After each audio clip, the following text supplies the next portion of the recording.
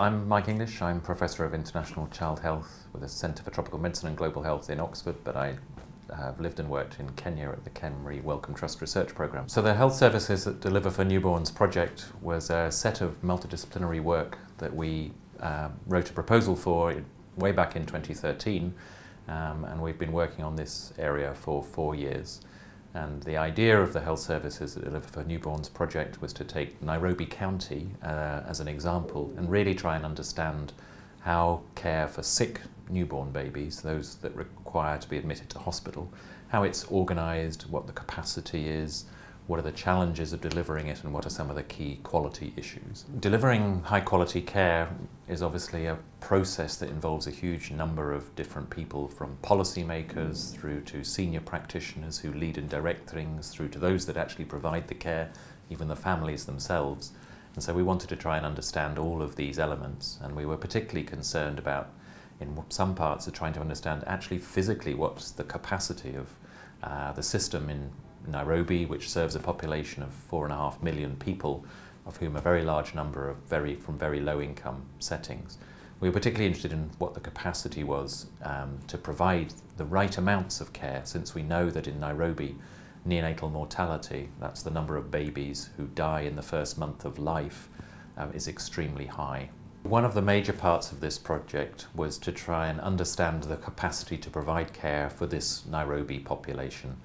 And a lot of this work was led by a colleague of mine called Dr. Gina Murphy, um, but working with a, multi, uh, a, a, large set of Kenyan researchers. Um, and one of the things we had to do first was establish how much care is actually needed. And uh, we had to do that by using uh, epidemiological approaches, by using lots of research findings that have estimated how many babies might get sick from particular conditions. And so we pooled together lots of this epidemiological research and made an estimate based on the number of births we know happen in Nairobi County to suggest how many babies would need to access hospital services. So that was one key piece of work. Then what Gina and the team with David and others in the team, what they did was actually identify all the facilities that were expected to provide inpatient care for sick babies. That's those babies that needed to spend one or two or three or even sometimes many more nights actually in hospital receiving care. That was quite a bit of work to identify all of those, to reach out to them, to ask if they would be happy for us to engage them in the research, and then actually to using tools to go out and try and characterize fully what they're capable of doing and the resources they have and some of their practices. So that was about actually trying to assess, if you like, the readiness of the system to offer care to the sick newborns that we know uh, will be likely to be needing it. And the final thing we do is actually, if you like, check whether the medical care that was being provided was of a good standard. And we used as a standard there the national recommendations um, for how neonatal care should be provided. So we had several sets of work all building up to help us understand if you were a sick newborn in Nairobi, you're maybe uh, within six or 12 hours of birth, that baby needs to be admitted to hospital, we, have, we were able to estimate how much care is available to them. And our estimates suggest that probably 40 to 45% of babies who should get to a good hospital for care probably never make it at all. Of the ones that do make it to the hospital, we estimate that only half of those actually are admitted to a hospital which is ready to provide good quality care. So what that means in reality is that of all the babies that perhaps should get into a good hospital for care, only about one quarter actually make it to a place which can provide good quality care. That was a whole set of work, which is what we call effective coverage. So we think the, that's our key, one of our key results is that effective coverage is only available for 25% of babies who need in hospital care in Nairobi County.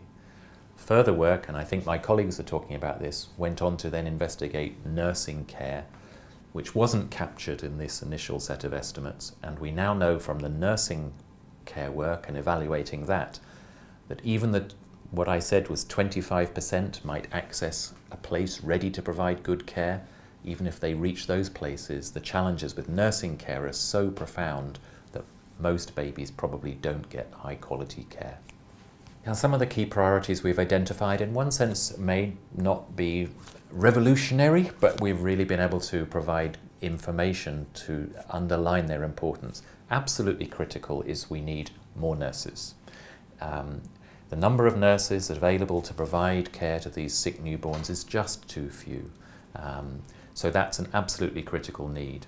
However, what we've also found is that the system of care for this population needs to be much better organised, and we probably need to think about different levels of care. What we've seen is that the majority of people, and obviously particularly the poor people, tend to use the government provided services and they're oh, completely overstretched. And so what we need to do is strengthen the existing facilities, but probably also think of ways in which we can add new facility-based care, maybe in smaller places, better distributed around the county, and so that they can provide some basic forms of hospital care for newborns.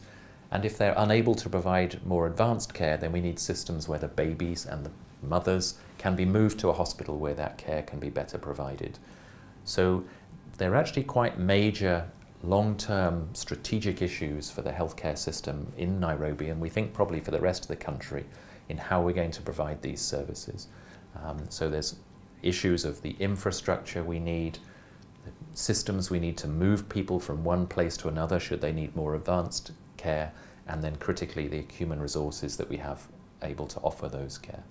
This project has brought together epidemiologists, clinic clinicians like myself as a pediatrician, it's brought together social scientists, including anthropologists, it's brought together statisticians. Um, and we've been working with policymakers, with uh, senior professionals, with regulators. And I think what it's shown us is that you need to make very special efforts to bring these groups together, to help them understand each other. Each piece of work has its own methodology or approach, but it's important that other parts of the team understand the value of those methods.